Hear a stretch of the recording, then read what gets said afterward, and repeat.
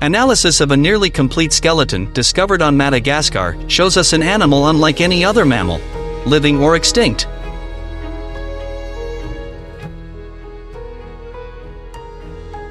Paleontologists recently analyzed the nearly complete and well-preserved skeleton of a new mammal that evolved on the island of Madagascar during the late Cretaceous period, 66 million years ago. This possum-sized animal, which often frequented the dinosaurs of its time, has just been given a name that means mad beast.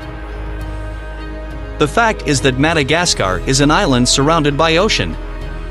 So the animal could have evolved independently of other fauna for 20 million years. Strange fact, but very interesting.